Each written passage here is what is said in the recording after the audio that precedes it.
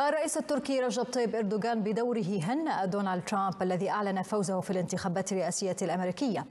وكتب إردوغان على منصة إكس بأنه يأمل في أن يعزز فوز ترامب العلاقات بين تركيا والولايات المتحدة وأن تنتهي الأزمات والحروب الإقليمية والعالمية على حد وصفه.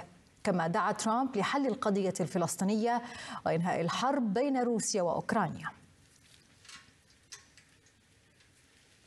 من اسطنبول ينضم إلينا محمود علوش الخبير في العلاقات الدولية. أهلا بك معنا على قناة ومنصة المشهد. اذا وصول ترامب إلى البيت الأبيض سينعكس على ملفات ساخنة كثيرة حول العالم. أبدأ معك من تركيا والعلاقات مع أنقرة. كيف ستبدو اليوم في ظل حديث إردوغان عن رغبة في التعاون مع ترامب؟ مساء الخير.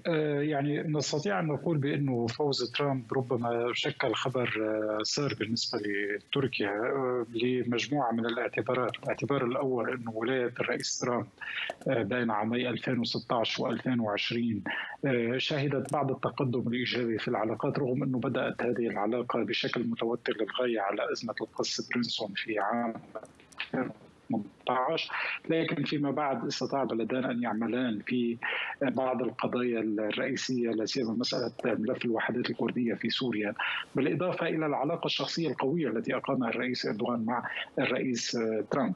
الحقيقة الأخرى أو العامل الآخر هو انه العلاقات بين التركيه مع الولايات المتحدة في ظل الإدارات الديمقراطية كانت تميل بشكل كبير إلى التوتر بقدر أكبر من الاستقرار وهذا ما يمكن ملاحظته من خلال فترة الرئيس جو بايدن رغم أنه يعني التوترات كانت منخفضة لكن أيضا خلال فترة الرئيس أوباما كانت التوترات عالية بين تركيا وواشنطن وبالتالي الافتراض التركي بأنه فوز هارس بهذه الانتخابات كان سيؤدي إلى مزيد من التعقيدات على مستوى العلاقات التركية الأمريكية.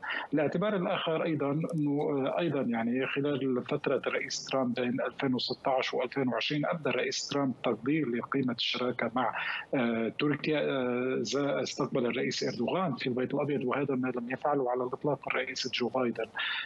وبالتالي يعني حتى هذا الجانب يبدو مهم جدا في تشكيل العلاقات التركيه الأمريكية. وأنا أعتقد أنه اليوم في السنوات الأربع المقبلة من ولاية الرئيس ترامب ربما يساعد العلاقة على المستوى الشخصي مع الرئيس إردوغان في ربما معالجة بعض القضايا أو على الأقل إدارة القضايا الخلافية بشكل أفضل مما كان عليه الوضع خلال فتره الرئيس جو بايدن.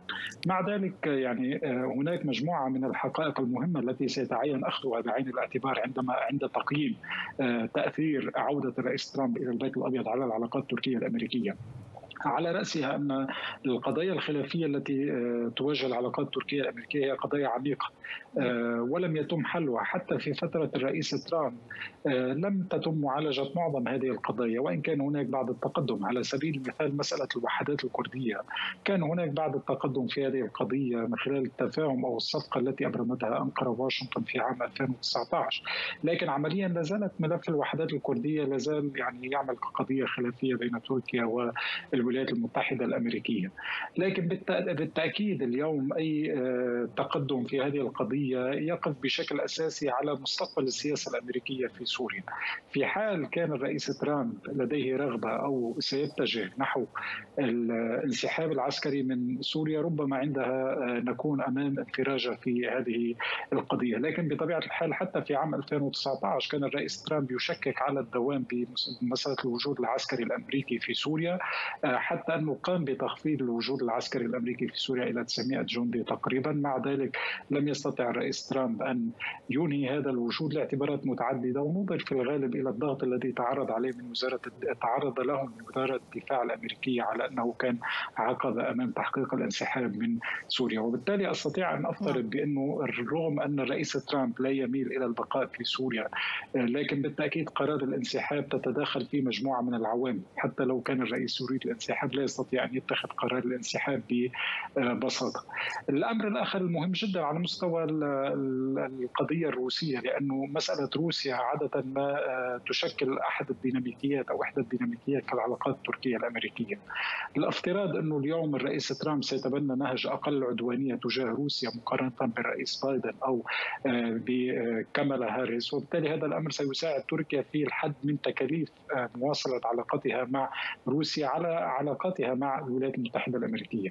في ضوء هذه العوامل نستطيع أن نقول بانه فوز ترامب ربما ربما أقول ربما يؤدي إلى وضع جديد في العلاقات التركية الأمريكية لكن بالتأكيد ينبغي أو ينبغي أن تكون الرهانات على أن تكون ولاية جديدة لترامب فرصة لتقدم كبير في العلاقات ينبغي أن تكون الرهانات واقعية.